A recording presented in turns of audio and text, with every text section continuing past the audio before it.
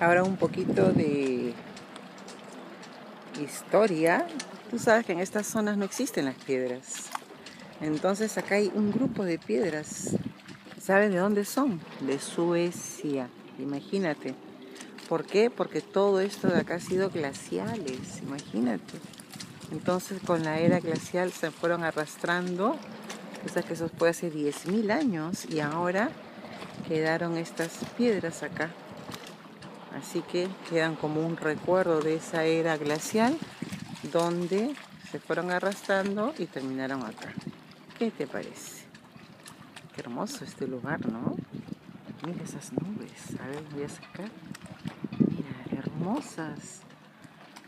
Porque eso no hay mucho en el Perú, por lo menos en Lima no hay, solamente en las provincias y al fondo hay unas chiquititas.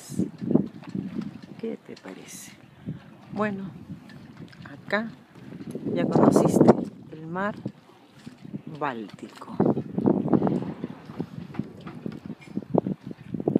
Oh, fíjense.